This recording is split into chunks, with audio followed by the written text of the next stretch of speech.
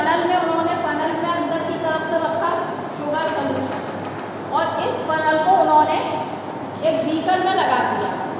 Beaker में भर दिया, इन्होंने पानी। तो ऑस्मोसिस होता है कम सांद्रता से, किसी भी विलियन का प्रभाव कम सांद्रता से अधिक सांद्रता की ओर अर्ध पारगम्य झिल्ली के द्वारा। जब इनको सेपरेट करते हैं तो पानी की सांद्रता कम होती है शुगर सॉल्यूशन की तुलना में तो ये पानी के अणु जो हैं इस अर्ध पारगम्य झिल्ली से इस तरीके से इस फनल के अंदर जाने लगते हैं और शुगर सोल्यूशन जो इतना भरा हुआ था उसका बढ़ के इतना हो इस प्रक्रिया को हम कहते हैं ऑस्मोसिस ऑस्मोसिस एक स्पॉन्टेनियस फ्लो इसका उदाहरण है किशमिश. अगर आप किशमिश को रात में पानी में भिगो देते हैं तो आप देखते हैं किशमिश फूल जाती है, क्योंकि किशमिश की जो सरफेस है वो सेमी परमेबल मेम्ब्रेन की तरह काम करती है और अंदर उसमें शुगर सोल्यूशन है बाहर पानी होता है तो इसी तरह से शुगर जो किशमिश है वो सुबह फूल जाती है तो ऑस्मोसिस किसको कहते हैं परासरण किसे कहते हैं कम सांद्रता से अर्ध पारगम्य झिल्ली द्वारा उच्च सांद्रता की ओर किसी भी विलयन का प्रभाव परासरण कहलाता है। अब दूसरी परिभाषा है परासरण दाब इस परासरण की प्रक्रिया को रोकने के लिए जो दाब विलयन की तरफ़ से लगाया जाता है उसे हम कहते हैं परासरण दाब जैसे इस चित्र में दिखाया गया है ये तो चल रहा है परासरण ये बनेगा अब इसमें इतना ही एडिक्वेट प्रेशर यदि हम इस सोल्यूशन साइड से लगा दें तो ये प्रक्रिया थोड़ी देर को रुक जाएगी इस दाब को हम कहते हैं परासरण दाब तो परासरण दाब की परिभाषा है वह द्रव स्थैतिक दाब जो परासरण प्रक्रिया को रोकने के लिए आवश्यक हो परासरण दाब कहलाता है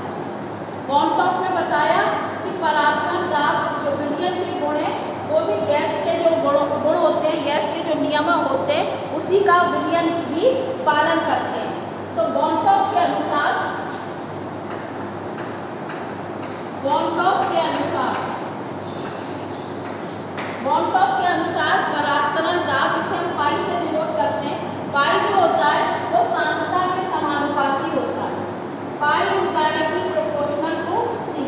और सांद्रता और आयतन का क्या संबंध है सांद्रता बराबर होती है एक बटा वी के तो पाई इज़ इक्वल टू होता है pi is inversely proportional to v और pi v is equal to constant जो कि बॉयल का नियम है p is equal to constant तो ये है बॉयल का, इसको कहते हैं बॉन्ड ऑफ़ बॉयल नियम pi v is equal to constant constant ये है बॉयल का नियम. दूसरा नियम है आपका चार्ल्स का नियम. चार्ल्स का नियम क्या कहता है हमारा? चार्ल्स का नियम हमारा कहता है कि पाई जो ऑस्मोटिक प्रेशर होता है, वो टेम्परेचर के समानुपाती होता है. तो पाई इस चार्ल्स के नियम के अनुसार pi is directly proportional to T at constant pressure यदि एट कांस्टेंट वॉल्यूम तो pi is directly proportional to T अगर हम इन दोनों को मिला दें बॉल्स और चार्ल्स का नियम तो हमारी जो समीकरण आती है, वो आती है pi V is equal to n R T pi V is equal to n R T तो पाई परासादा वी आयतन एन विलय पदार्थ के मोलों की संख्या, आर गैस कांस्टेंट और टी टेम्परेचर तो pi is equal to n R T में, पाई को कहते हैं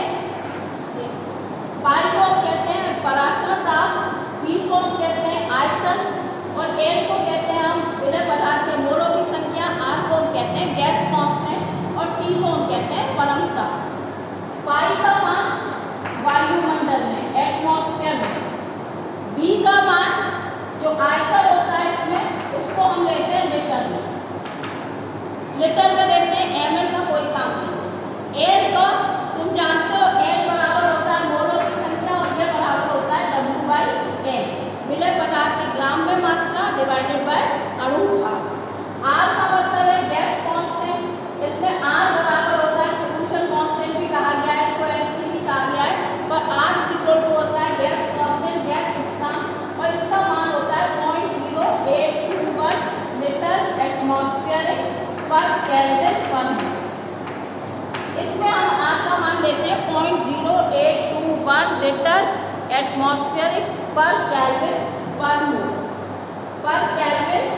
पर मोल ये है आपका मान